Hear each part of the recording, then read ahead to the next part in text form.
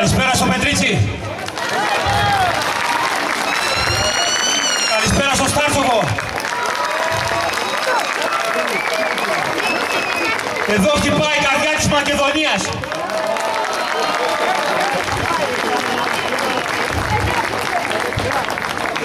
Καταρχάς, επειδή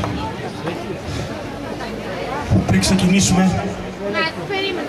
Τώρα, τώρα θα είχαμε πολλά προβλήματα στη διάρκεια για να έρθουμε εδώ πέρα. Η καρδιά μας όμως μας έφερε εδώ.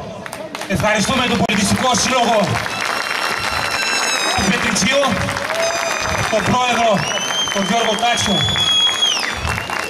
αντιπρόεδρος, συγγνώμη να με συμπαθάτε, τον Γιώργο Τάξιο. Πριν ξεκινήσω, είχα γράψει ένα χαρτί, αλλά στην πορεία το έσκησα και μιλάω με τα γλώσια της καρδιάς.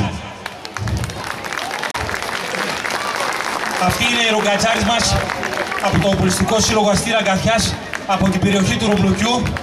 Σας δείξαμε μία μικρή παράσταση από ένα έθιμο το δεκαημέρο το οποίο αναβιώνουμε στο Ρουμπλούκι με το έθιμο Ρογκάτσια το οποίο ο σκοπός ξεκίνησε από την κατοχή της Τουρκοκρατίας και συνεχίζεται μέχρι και σήμερα στον τόπο μας. Ο σκοπός ήταν στην αρχή για να μαζέψουμε χρήματα για τον αγώνα της Ευτεριάς και μέχρι σήμερα για να κάνουμε ένα μικρό έρανο για τους πολιτιστικούς συλλόγους να μαζέψουμε κάποια χρήματα έστω για να πάρουμε και ένα κόσμημα. Μόνο γι' αυτό. Και πριν ξεχάσω, βλέπω απέναντί μου το λάβαρο του Πετριτσίου και δεν το κρύβω ότι πουπουκιάζει το κορμί μου.